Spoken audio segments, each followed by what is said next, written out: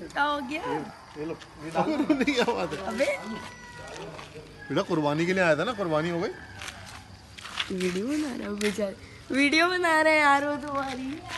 अरे यार। साइड देख लो। इस